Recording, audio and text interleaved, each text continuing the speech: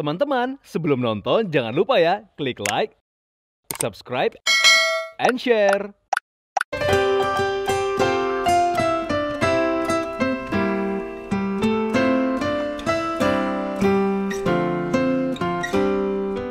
Manusia dan hobi tentu menjadi hal yang tak terpisahkan.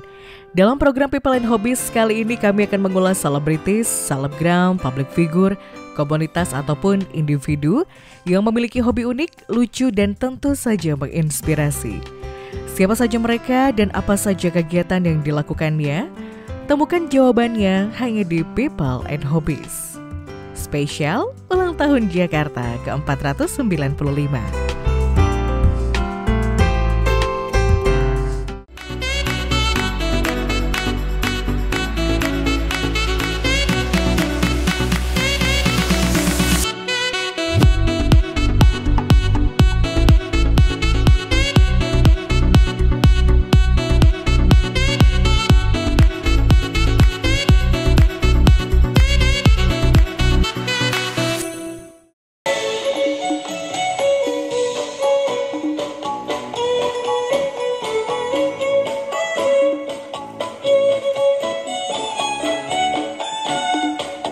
Jakarta sebagai ibu kota tentu saja menawarkan berbagai keindahan dan pesonanya.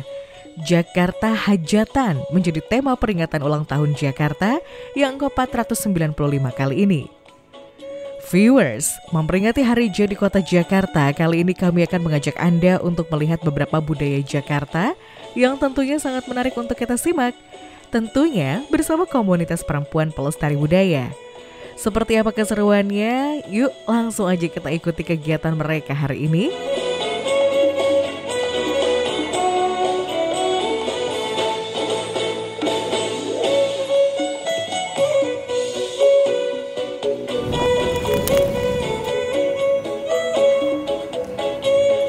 Viewers, perkenalkan nama aku Syabita Putri Jelita sebagai pelestari budaya Hari ini aku ingin mengajak viewer semua untuk memperingati Hari Ulang Tahun Jakarta ke-495.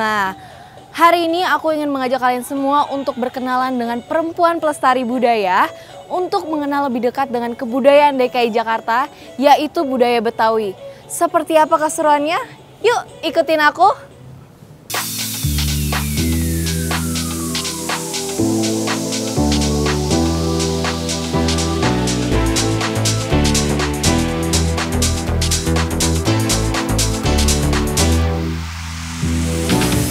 Sebagai anak muda harus melanjutkan generasi-generasi wasra dan budaya dari zaman nenek moyang dulu dan kita harus uh, menjaga uh, budaya dan wasra tersebut gitu.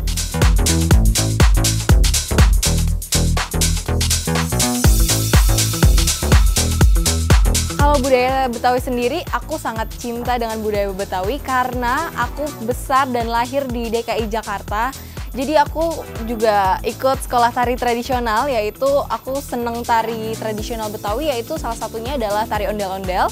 Lalu dengan kulinernya sendiri aku seneng banget makan kerak telur, kue gabus gabus pucung dan kue rangi. Aku sangat senang sekali dengan busana Betawi yang sedang aku pakai ini yaitu rancangan Rumah Kebaya Vilga gitu. Jadi aku senang banget uh, melestarikan budaya Betawi aku sendiri. Nah, viewers, sebelum kita berlanjut, kita kenalan dulu yuk sama perempuan pelestari budaya.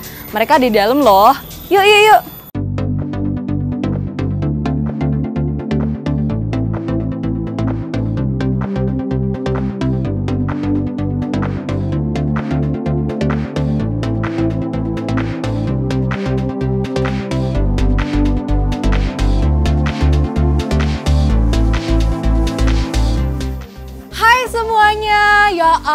Pada cantik-cantik banget tuh warnanya cerah-cerah banget outfit hari ini ya ampun nah viewers kita udah bersama perempuan pelestari budaya nah tuh meskipun pakai kebaya dan kain batik gak kalah kece kan fashionnya sama fashion masa kini nah kita sudah bersama Mbak Dia nih. Mbak Dia sebagai Ketua Umum Perempuan Pelestari Budaya. Nah, Mbak Dia katanya mau ngenalin viewer semua nih mengenai budaya Betawi. Mau ngenalin apa sih? Eh tunggu dulu, tunggu dulu, tunggu dulu. Nah viewers, kita lihat yuk kelanjutannya. Yuk.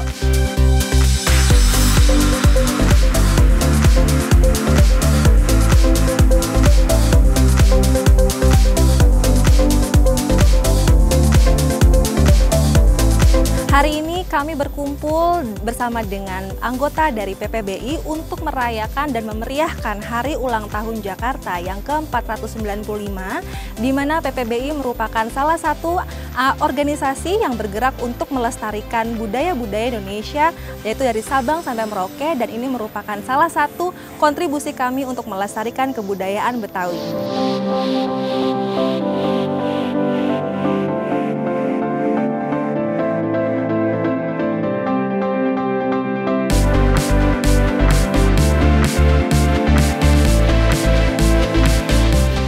Viewers, perkenalkan saya Diah Kusuma Wardani Wijayanti, founder dari Yayasan Belantara Budaya Indonesia dan juga Ketua Umum Perempuan Pelestari Budaya.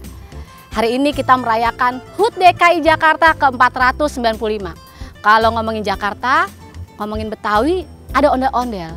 Dahulu, ondel-ondel itu untuk penangkal bala. Dan ada di Indonesia konon katanya 1600 Masehi. Tetapi kekinian ondel-ondel menjadi uh, salah satu tarian gitu yang ditunggu-tunggu untuk acara-acara pesta rakyat dan juga sambutan-sambutan uh, acara untuk pembukaan ataupun uh, pesta pernikahan. Dan kalau ngomongin tari ondel-ondel, berikut adalah anak-anak didik saya yang akan menarikan tari ondel-ondel. Ada apa aja sih di tarian ondel-ondel? Ini yang namanya belantek, biasa digunakan untuk tari ondel-ondel. Ada toka-toka, dan juga yang pasti kain Betawi, batik Betawi yang menghias yang berhias dengan uh, motif Betawi dan juga pastinya ada Monas dan ondel-ondelnya. Uh, kebudayaan Betawi sebenarnya beragam ya.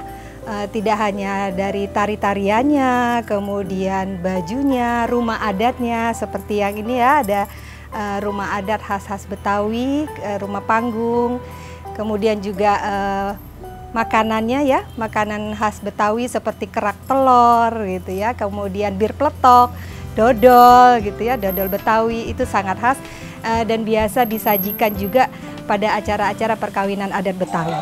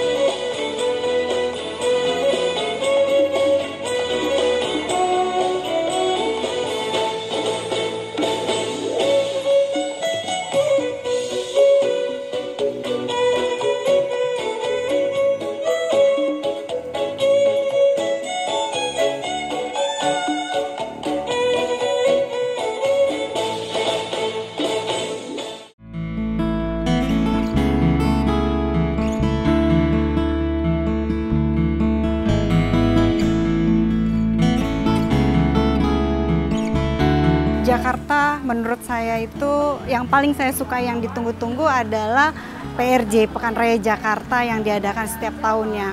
Nah setelah pandemi dua tahun lalu nggak ada lagi PRJ dan tahun ini hmm, hal yang ditunggu-tunggu jadi eh, sangat-sangat uh, memang uh, ikonik untuk Jakarta PRJ tersebut. Banyak kebudayaan Betawi uh, mulai dari lenong Betawi, kemudian juga ada tanjidor, Kemudian juga ada makanan-makanan khas Betawi, ada kerak telur, terus ada asinan Betawi yang paling saya suka. Uh, terus juga ada kebaya-kebaya Betawi yang sangat cantik banget. Wah seru banget ya barusan kita aja barusan lihat tarian Betawi yaitu tari ondel-ondel. Nah selanjutnya Mbak Dia kita mau dikenalin apa lagi sih ke viewer semua ini? Kita akan melihat bagaimana wastra Betawi. Oh ada ya wasra Betawi itu? Ada banget. Nanti kita akan lihat langsung kita akan belajar wasra Betawi, motif dan sejarahnya. Yuk viewers,